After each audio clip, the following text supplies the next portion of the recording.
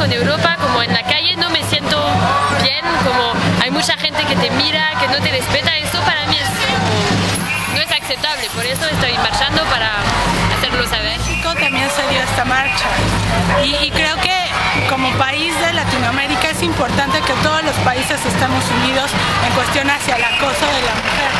En México también se vive una situación de acoso.